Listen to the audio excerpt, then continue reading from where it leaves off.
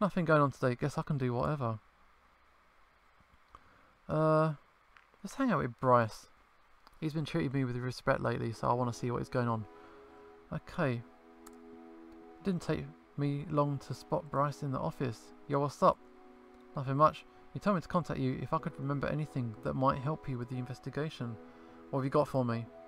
I'm not sure if it's worth mentioning, but I have known Reza for a couple of years, so I might know some things about his personality. I see.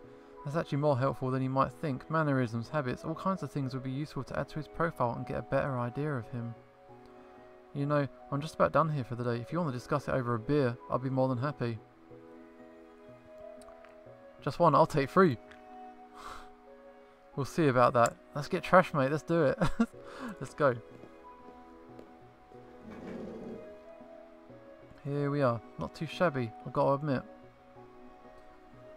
Just in time for happy hour. It's a cafe with coffee. I didn't know it sold beer as well. Do you come here often? uh, sometimes.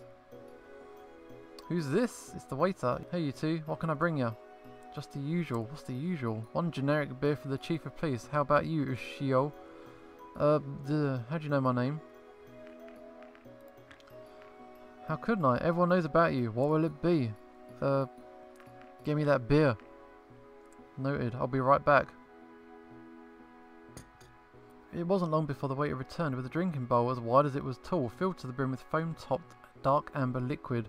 Carefully, he set it down in front of Bryce, who didn't hesitate to take a big gulp. He brought one for me as well, provided in a glass that seemed more appropriate for my kind. There you go. Just call me if you need anything. Alright, no problem. Let's drink. what is it you wanted to tell me about Reza? There are a few things. I mean, probably not much, but anything might help, right? That's right, anything unusual about him, anything that defines his character or stands out about him could help us. How about you tell me what you know about him? Well, the earliest memory I have of him was when we both went to the same school. We only shared a few classes though, and a couple of friends. Overall, I'd say he was an above average student. We didn't talk very often, but he was always very outspoken and never failed to speak up and make his opinions known. He was the kind of person I'd fully expect to become a politician one day, or at least an activist of some sort. That's the impression I got of him. He spoke a lot, but you could also expect him to act on his word. Of course, his nature caused him to clash with others, sometimes even including the school staff, though his genuine enthusiasm also garnered praise for him. He was quite a character. He sounds like some kind of creepy political revolutionary type. Okay, after we all graduated, I didn't hear anything about him for a while, only some years later, after we found the portal, and I was surprised to find out he was the human who would be sent to your world. He had volunteered. It wasn't until I was already here that I already met him again, however brief our interactions were. But then I already told you everything about what happened prior to the eventual scuffle with Maverick. There was only one thing that stands out to me about those events. In the restaurant, when he told me about the letter, he mentioned that I would know how to read its secret message. I know he values the use of his own intellect, but when I received the letter later, he apparently fully expected me to remember a random chemistry class we had together years ago in order to see the message. I see. So you did not arrange this beforehand? No. No idea. That is peculiar. Yeah, this dude's a weirdo. Oh, I know, I still wonder what he would have told me if Maverick hadn't interfered when he met at the portal. We do as well, and you can believe that. How was Maverick even allowed to intercept his letter and read it? He could have easily done so since he was in charge of Reza and everything, but he totally shouldn't have. I mean, we wouldn't do anything of the sort with you. Everything he's done in regard to Reza has been a poor show of character. I guess so. In any case, thanks for telling me all this. You never know when this kind of information could be useful. No problem. Just when I thought that awkward silence might set in, Bryce stopped the waiter and didn't hesitate to speak up. Yo, bring me more beer. I hadn't noticed, but while I was talking, Bryce had been busy sipping on the drink. An empty bowl before him was proof of his proficiency, while I had barely touched my own. No, oh, that's it. That's it. Beer number two. Uh, Bryce just about to start on his second when suddenly he spoke up. You know what? Why don't we have ourselves a little drinking contest? Dude, you're gonna kill me. I don't think I can beat someone like you. I'm in. Let's do it. That's what I like to hear. Considering they don't even have cars, at least I won't have to worry about drinking and driving. The rules are simple. We both get around and then we wait a few minutes until the next one so the effects can kick in. Wow, whoever gives up first loses. Let's burn some brain cells. and whoever burns more wins. That's the true game of kings, I'm telling you. Alright, let's do it. He made a show of looking me in the eyes while he lowered his muzzle into the bowl before he started guzzling to drink noisily. It's gone in seconds, certainly. This was going to be tough. My confidence faltered and there was no turning back now. How did I think I could win a drinking contest against a fricking dragon? Nevertheless, I grasped the drink, putting on the best show I could while I tried to recreate Bryce's feat. After the first sip, however, I realised it was very different from any other beer I'd tried before, yet I persevered through the intense taste until the glass was empty. I probably wasn't as impressive as Bryce had been moments earlier, but I couldn't afford to show any weakness. My plan was cut short though, as I set down the glass of an unusually strong aftertaste hit me, causing me to make a face. How'd you like it? It sucks. This is some strong stuff. I told ya. You better know beforehand how much you can take or it'll hit you harder later on. Wanna give up? Heck no. Alright, let's go again. When's the next round starting? Soon enough, do you feel it? Do you feel the buzz kicking in? Uh... Don't lie to me, I can see it in your face, unless that's blushing I see and not the alcohol. Alright, it's a buzz. That's what I thought.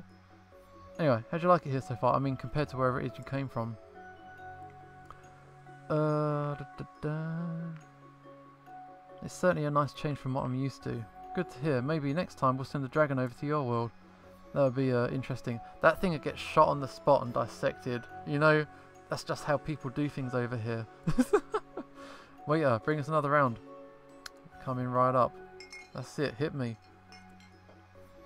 You know how it goes. That I'll do. Yeah, we're getting trashed. Careful, he's a pro. That's it. Who's this? Is that Ziff? Did I hear something about a contest? Maybe. Up to your old shenanigans, I see. Don't spoil the fun. Don't go around telling people what you're up to either. Point taken, enjoy. Dude, get in on this drinking. of course he wouldn't have challenged me if he wasn't confident he would win, but I guess I'll try my best. I went first last time. Your turn now. As I put the glass to my lips, I started swallowing the dark amber liquid. I was struck by how much more difficult this round was compared to the first. One thing that always puzzled me about seasoned drinkers was the sheer amount of liquid they could ingest without issue. Keeping it down, however, was a much different question. But this contest wasn't about keeping it down. There. Done. Your turn. Did I see you struggling for a second? Uh... Let's see how you do, though. I've had much more than this before. As for my turn, let me demonstrate. What? Once again, he consumed his drink. Though his swigs were noticeably slower as before, his resolve was also fading, though not as fast as mine had, as he clearly held the advantage. Was there any way I could turn it around? We are getting trashed. Alright, there. Done. Let me ask a question. I know you wanted to tell me about all the stuff about Reza, but was that the only reason you wanted to meet? I don't know. Have a bit of fun. He's winking. Oh my god. Thought so. I won't disagree with that. Next round. Let's get trashed. Ah, how far can we go? So we just go till we pass out? Is that what we're going to do? Hey, holding up. Just fine, thanks for asking. If you say so, good luck. Was it your turn or mine? Alright, we're starting to lose track. Yours. Okay. By now, it was obvious that Bryce was faltering, though he was still faring much better than I was. He even had to take a break in the middle of the beer, unable to down it in one go. Alright, my turn. He was a lot heavier than me, and even though his bowl was held far more liquid than my glass is, how did I think I stood a chance against him?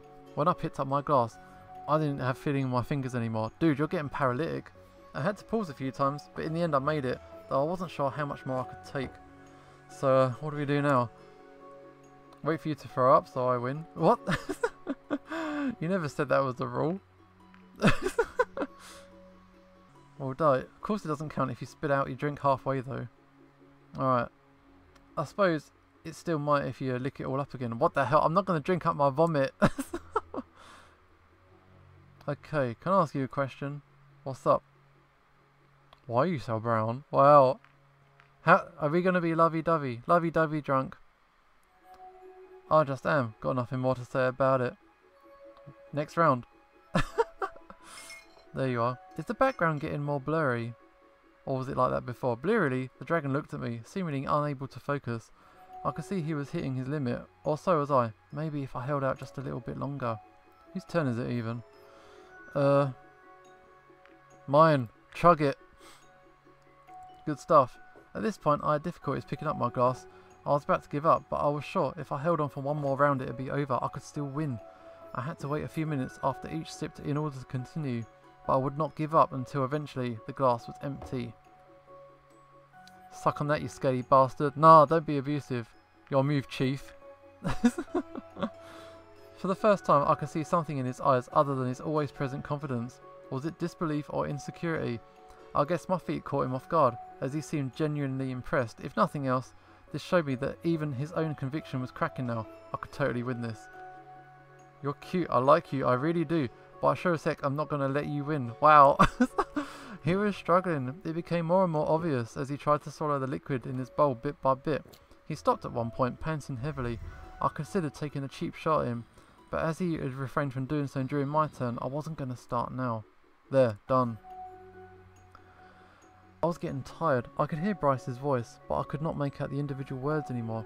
I decided to rest my eyes, just for a little bit. Have I passed out? Boom! Gone!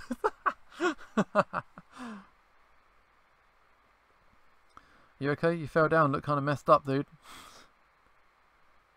uh, I'll mess you up if you don't get out of my face, what? Yeah, I'm good. I'm good. Good to hear. Ready for another round, or do you want to give up? Oh.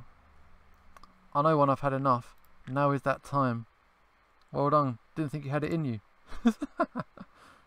you know, it was fun watching you and all, but you've both had enough for the evening. I think you'd better leave. After you've come out from under the table, that is. Alright. I'll be going. Wait a minute, what's up? Maybe you should go with him just to make sure he gets home safely and doesn't do anything stupid, you know. It's kind of an unspoken rule here that whoever is his drinking buddy does so, or is he a bad drunk? When I looked over to him, I discovered that Bryce had passed out for the moment. This could prove difficult. Uh, alright, that's fine. Leave. Just leave. Just walk out. Alright, fine. Let's do it. Gotcha. Let's get you home. He's still unconscious. What? Um... Pep? Wow. Uh, let's... Bit of water. This should do the trick. Sploosh. wakey wakey. Where am I? Still in the bar. Let's go home. This is his place, alright. I awoke, looking at an unfamiliar ceiling. For a moment, I wondered where I was before the events of last night all came back to me. As I got up and looked around, I realised that I'd apparently slept on the floor. Where am I? This isn't my house. This dude's crashed on the couch. I guess I must have passed out after I got Bryce home. You're Bryce. You're salivating. What? Wake up, fatty. What the fuck? Morning, sunshine. The dragon moved and let out a groan before he opened his eyes. Damn my head, why are you even here? I guess I must have passed out after I escorted you home. Alright, after our little game. Do you remember who won? I don't even know, but you stood your ground and I respect that. You didn't do anything funny while I was out, did you? Like what? The dragon rose from the couch with a nice morning stretch, rubbed his eyes, and then held his head as he let out a grunt and a big yawn. Alright, you know what, I'm sorry. The whole contest thing was my stupid idea, and I shouldn't have suggested it, especially not to you. Well, it's not like you forced me to participate, so I suppose I share some of the blame. Let's just pretend the whole thing never happened. Alright, deal. Wait, what time is it? Uh... Alright, gotta get going or I'll be late for work. You have to get back to your apartment from here, right? I've got no idea where I am. I think so. Alright, cool. I guess you should be going as well, kiddo. Maybe I'll see you some other time. Probably when there's the next murder.